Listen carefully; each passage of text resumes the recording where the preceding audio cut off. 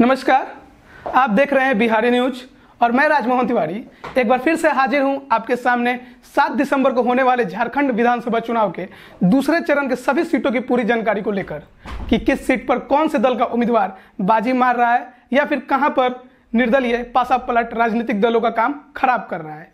तो आइए क्रमवार जानते हैं दूसरे चरण में हो रहे सभी 20 सीटों पर चुनाव में कौन कहाँ से बाजी मार रहा है। पहले बात करते हैं बहरागोरा विधानसभा क्षेत्र की। कहने को तो इस सीट पर आठ उम्मीदवार खड़े हैं, लेकिन इस सीट का इतिहास झामुमो और भाजपा के बीच सीधी टक्कर का रहा है।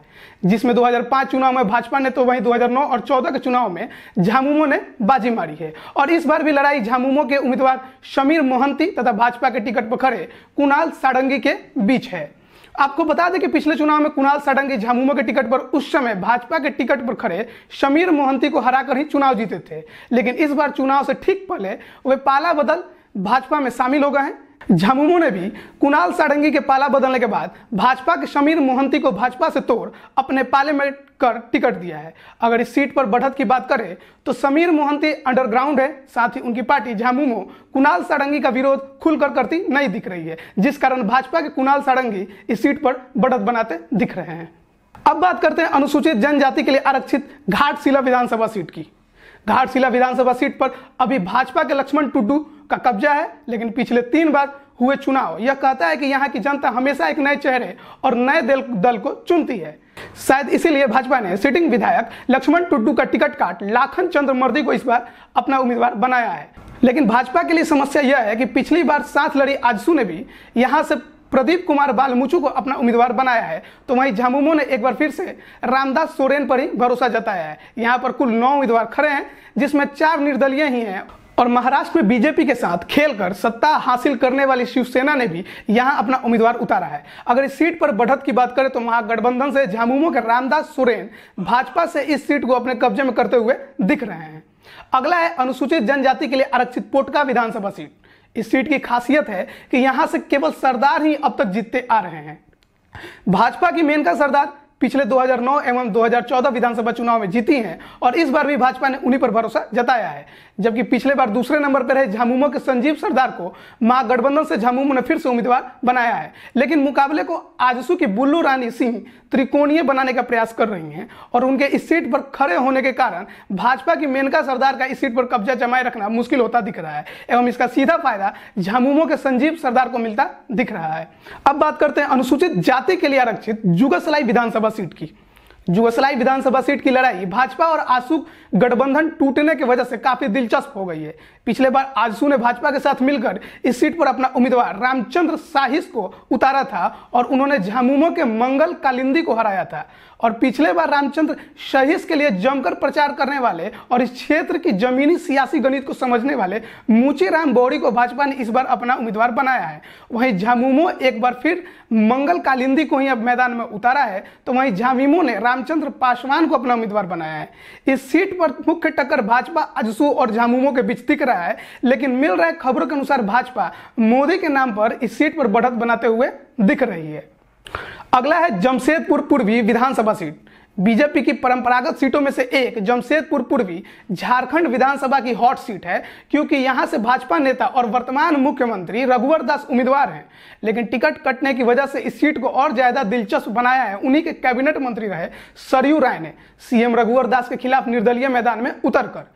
आपको बता दें कि सीएम रघुवर दास झारखंड बनने के पहले उन्नीस सौ पंचानवे से इस सीट से जीतते आ रहे हैं और इस चुनाव में छठी बार विधानसभा जाने और दूसरी बार मुख्यमंत्री बनने के इरादे से मैदान में है। अगर सरयू राय ने निर्दलीय उम्मीदवारी नहीं दी होती तो रघुवर दास आसानी से जीतते हुए दिख रहे थे। लेकिन अब लड़ाई उनके लिए थोड़ी कड़ी ज़रूर हुई है, लेकिन अब भी हमारी रिपोर्ट में जमशेदपुर पूर्वी विधानसभा सीट से रघुवर दास अपने प्रतिद्वंदियों से आगे दिख रहे हैं।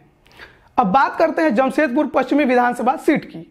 यह सीट भी झारखंड विधानसभा चुनाव में काफ़ी चर्चा में रही, क्योंकि भाजपा ने सिटिंग विधायक एवं मंत्री सरयू राय का टिकट काटकर नया चेहरा देवेंद्र सिंह को मैदान में उतारा है। तो वहीं महागठबंधन से कांग्रेस ने 2009 में जीते एवं 2014 में दूसरे नंबर पर है बन्ना गुप्ता पर ही फिर से भरोसा जताया है। लेकिन इन दोनों मुख्य दलों के लिए दो छोटे दलों ने समस्या खड़ी कर दी है। भाजपा के लिए उसकी पुरानी सहयोगी रही आजसू और टिकट कटने से नाराज़ सरयू राय के समर्थक समस्या खड़ी कर रहे हैं। तो वहीं बिहार उपचुनाव में जीत हासिल कर अपना जन मूलाधार बढ़ा रही एआईएमआईएम ने यहाँ से अपना उम्मीदवार उतार, अल्पसंख्यकों की राजनीति करने वाली कांग्रेस के सामने चुनौती खड़ी कर दी है। अब देखना होगा कि इनके आने से किसे फ़ायदा एवं किसे नुकसान होता है। जहाँ तक इस सीट पर बढ़त की बात करें तो हमारी रिपोर्ट में काफ़ी कड़े मुकाबले में बीजेपी का पलड़ा थोड़ा भारी दिख रहा है। अगला सीट है अनुसूचित जनजाति के लिए आरक्षित सरायकेला विधानसभा सीट। झामुमो का गढ़ माने जाने वाला सरायकेला विधानसभा सीट को जीतने के लिए भाजपा पिछले तीन चुनावों से पूरी जान लगा रही है। 2005 में वह जहाँ आठ वोटों से तो 2009 में तीन हज़ार दो सौ छियालीस वोटों से, जबकि पिछली बार मात्र 1115 वोटों से इस सीट को हासिल करने में नाकाम रही। झामुमो के चंपाई सोरेन पिछले तीन बार से यहाँ से जीतते आ रहे हैं और इस बार भी झामुमो ने उन्हीं का मैदान में उतारा है। भाजपा ने पिछले बार दूसरे नंबर पर रहे और काफ़ी करीबी मुकाबले में हारे गणेश महाली पर फिर से भरोसा जताया है।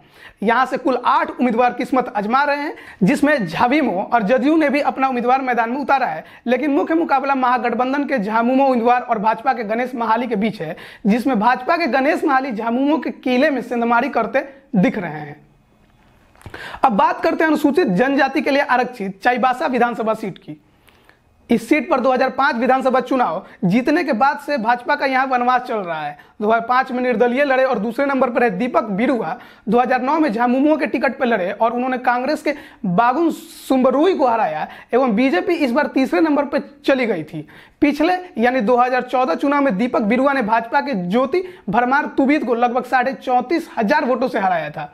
इस बार महागठबंधन से झामुमो प्रत्याशी दीपक बिरुआ लगातार तीसरी बार विधानसभा जाने के लिए मैदान में है तो वहीं भाजपा की कोशिश इस सीट पर अपनी दस वर्ष का वनवास खत्म करने का है। लेकिन मिल रहे खबरों के अनुसार झामुमो प्रत्याशी दीपक बिरुआ तीसरी बार विधानसभा पहुँचते दिख रहे हैं तो वहीं भाजपा का इस सीट पर वनवास अभी खत्म होता नहीं दिख रहा है।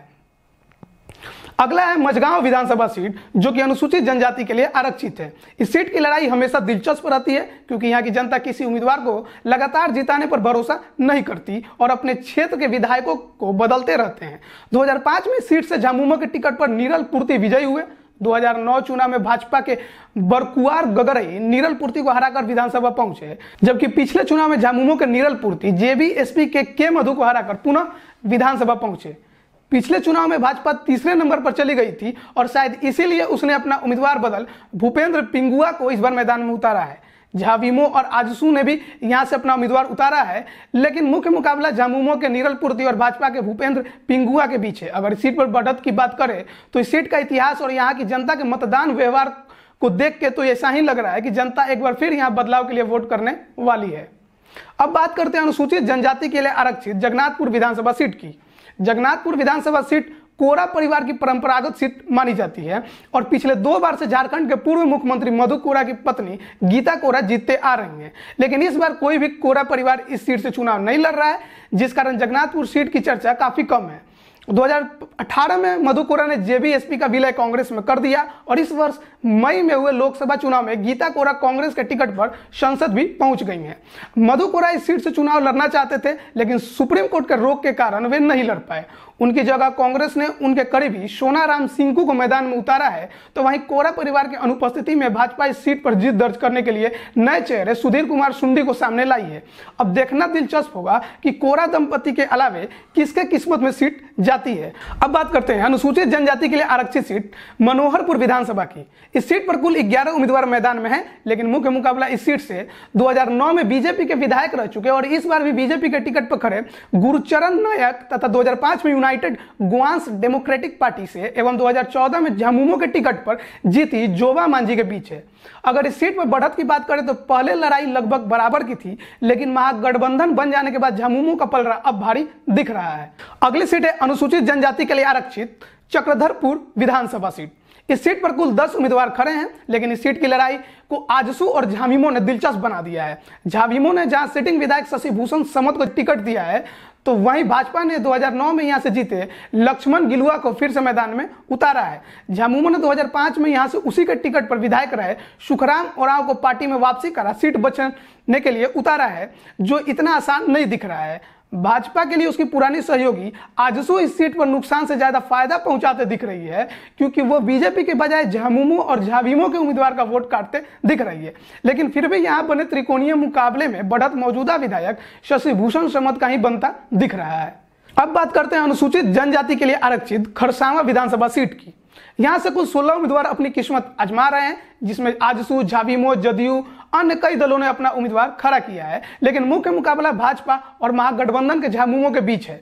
2005 और 9 में यह सीट भाजपा के पास थी, लेकिन पिछले चुनाव में झामुमो के दशरथ गगरई ने बाजी पलटते हुए बीजेपी के कद्दावर नेता अर्जुन मुंडा को हरा दिया। इसलिए झामुमो ने फिर से उन्हीं को अपना उम्मीदवार बनाया है, जबकि भाजपा ने अर्जुन मुंडा के सांसद बन जाने के कारण जवाहरलाल बनरा को मैदान में उतारा है। अगर बढ़त की बात करें तो निर्दलीय और अन्य दलों द्वारा मज़बूत उम्मीदवार उतारने और वोटों के बिखराव के कारण ऐसा लग रहा है कि बीजेपी इस सीट पर फिर से कब्जा कर सकती है। अगली सीट है अनुसूचित जनजाति के लिए आरक्षित, तमार विधानसभा। इस सीट पर खड़े चौदह उम्मीदवारों में लड़ाई को दिलचस्प बना रही है भाजपा की रीता देवी मुंडा, क्योंकि पिछले चुनाव में आसू ने बीजेपी के साथ मिलकर अपना उम्मीदवार उतारा था और जीत हासिल की थी। परंतु इस बार दोनों ही अलग चुनाव लड़ रहे हैं और आँसू के लिए समस्या और ज़्यादा तब खड़ी हो गई जब उनके सीटिंग विधायक विकास कुमार मंडल ने इस बार पाला बदल झामुमो के टिकट पर मैदान में आ गए। इस सीट पर अपना जनाधार रखने वाली आँसू ने इस बार राम दुर्लभ मुंडा को सीट बचाने के लिए उतारा है।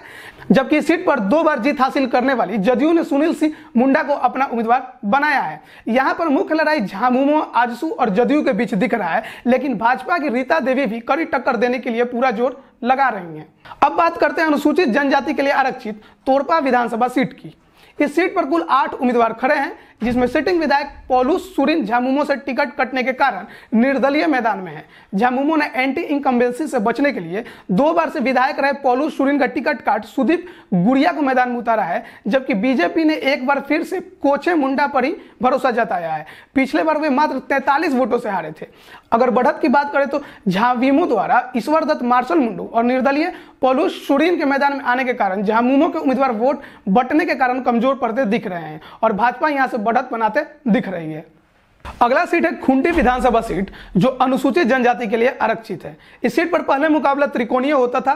लेकिन झामुमो और कांग्रेस के बीच गठबंधन होने की वजह से इस बार द्विपक्षीय दिख रहा है। भाजपा के उम्मीदवार नीलकंठ सिंह मुंडा पांचवी बार जीतने के इरादे से मैदान में है तो वहीं माँ गठबंधन से झामुमो ने सुशील पहान जैसा नया चेहरा मैदान में उतार। ऐसा लग रहा है कि रिस्क उठा लिया है, क्योंकि जनता का कहना है कि सुशील पहान इस क्षेत्र में नए हैं, इसलिए वे नीलकंठ सिंह मुंडा के साथ ही जाना पसंद करेंगे। इस सीट पर झाविमो और जदयू ने भी उम्मीदवार उतारे हैं, लेकिन वे केवल साइड रोल में ही नज़र आ रहे हैं।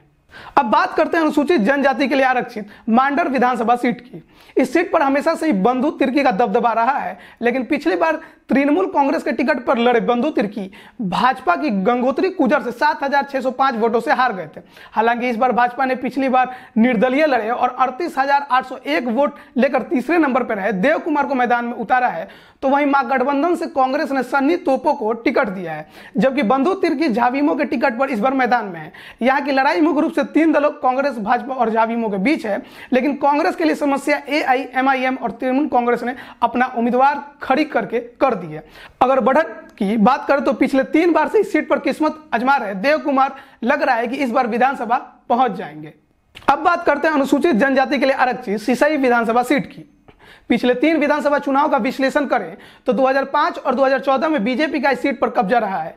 और 2014 में जीते दिनेश उड़ाव को बीजेपी ने इस बार फिर से टिकट दिया है तो वहीं महागठबंधन के कांग्रेस और झामुमो का भी इस सीट पर अपना जनाधार है। इस कारण कहा जा सकता है कि महागठबंधन से झामुमो के उम्मीदवार जिग्गा सुशारन होरो का पलरा इस सीट पर भारी दिख रहा है। अब बात करते हैं अनुसूचित जनजाति के लिए आरक्षित सिमडेगा विधानसभा सीट की।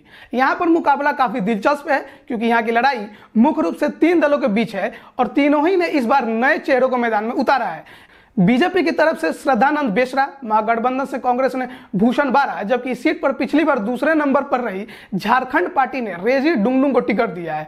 अगर इस सीट पर बढ़त की बात करें तो उलटफेर होता दिख रहा है, क्योंकि झारखंड पार्टी के रेजी डुंगडुंग या मुख्य दलों पर बढ़त बनाते दिख रहे हैं। अब इस दूसरे चरण की आखिरी सीट है अनुसूचित जनजाति के लिए आरक्षित कोलेबिरा विधानसभा। इस सीट पर शुरू से ही अन्नोस इक्का का कब्जा रहा है, लेकिन 2018 में हुए उपचुनाव में उनकी पत्नी मेनन इक्का बुरी तरह हारी थी। इस बार उन्होंने अपनी बेटी आयरिन इक्का को झारखंड पार्टी का उम्मीदवार बनाया है तो वहीं कांग्रेस ने उपचुनाव जीते नमन बिक्सल कौन गाड़ी को ही फिर से मैदान में उतारा है। भाजपा ने इस बार नए चेहरे सुजन मुंडा को इस सीट पर पहली बार कमल खिलाने के लिए मैदान में भेजा है। अब देखना होगा कि अनोस इक्का की बेटी आयरिन इक्का पिता के करिश्मे को दोहरा पाती हैं, या फिर उपचुनाव जीते कांग्रेस के नमन बिक्सल कौन गाड़ी इस सीट पर कब्जा जमाए रखते हैं? एनआरसी, मोदी और डबल इंजन के नाम पर मैदान में उतरी भाजपा के लिए झारखंड चुनाव का पहला चरण कुछ खास नहीं रहा, लेकिन सत्ताधारी भाजपा दूसरे चरण के 20 सीटों में कितने सीट हासिल करेगी, यह तो 23 दिसंबर को होने वाले परिणाम की घोषणा में ही पता चलेगा।